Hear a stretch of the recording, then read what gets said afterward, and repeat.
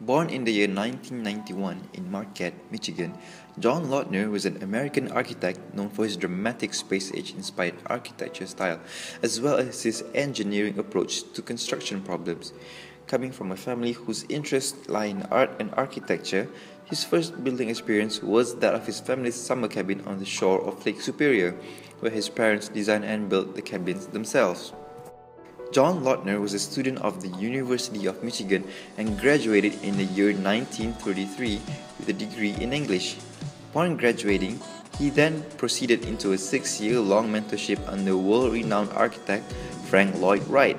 It was his mother, Vida Lautner, who secured the apprenticeship for John Lautner. In the course of the years under Wright, Lautner helped supervise many of his mentor's projects before deciding to establish his own architecture practice in the year 1983. His ideology is firmly based on the relationship of the human being to space and of space to nature. He also believes that everything, whether natural or built environment, must be balanced. While other architects of the time looked to the past for inspiration, John Lautner gazed into the future and present for an all-American city.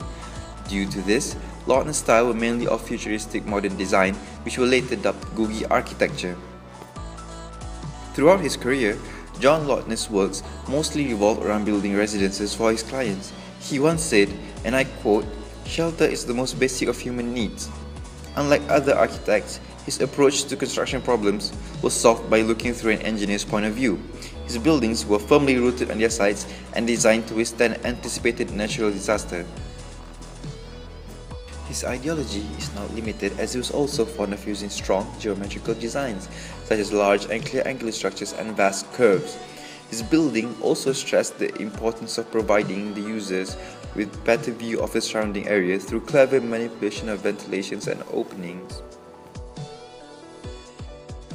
As an accomplished architect of his time, John Lautner worked on numerous projects, out of which his main focus was in designing houses. This was in line with his belief in the importance of shelter as a basic need. His various residential projects were able to stand alone, each with their own unique characteristic, yet still reflect Lautner's personal style in designing. The Sheats Goldstein residence, completed in 1963, is one of the most well-known structures by Lautner. His design work on the residence include that of its furniture, interior, and other fittings. This was done as he wanted the furnishings to relate to the aesthetic form of the house itself. Meanwhile, the Elrod House on Southridge Drive in Palm Springs, built in 1968 for interior designer Arthur Elrod, is memorable for its enormous domed concrete roof with wedge-like sections cut out to accommodate skylights and provide indirect light. This reflected Lautner's preference of using natural lighting and ventilation in his structures. Another of his famous projects is the Hope Residence, custom designed for comedian Bob Hope. It's a massive structure inspired by a volcano yet resembles a spaceship when viewed from ground level. This structure is known for its dramatic design which includes an open roof right in the middle of the whole structure. The Reiner residence, completed in 1963, also known as Silvertop, is a 7,500 square foot house designed to follow the contour of the hilltop on which it was built. The structure, like many other works by Lautner, displays ingenious solutions to site problems while providing expansive views of nature. One of the most modern residences built at the time, the Chemosphere is praised for both its unique design and for its ingenious solution to the problem of the site. 45 degree hillside proved an impossible site to build for the architects of the time. Lautner, however, took up the daunting task and engineered a new way for a home to be built. He decided that the home would be a one-story octagon perched on a single 9-meter concrete column. This approach reduced the total cost by half of the conventional solution of using retaining walls and land drains. This method also left the natural surroundings untouched. The single column is supported by an 8-meter concrete pedestal buried under the earth, which is strong enough to withstand earthquakes and heavy rains. The column, however, does not support the roof of the house as it does not continue up into the interior. Instead, steel struts shoot out from the column to support the floor of the house. The reason for this is that Lautner intended for a circular roof light built in the middle of the octagon where the column would have been. This provides natural lighting in the deepest part of the plan. The structure of the residence is made of steel and timber, and the roof is supported by curved portal frames of laminated wood.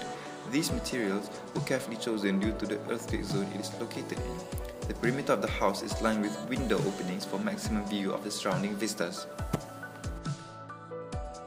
The interior is divided into several designated spaces. The northern side facing the open view contains public spaces such as living room, kitchen and dining room, while the side facing the hill contains four bedrooms and a bathroom. In the center of the house exists a fireplace surrounded by seating areas.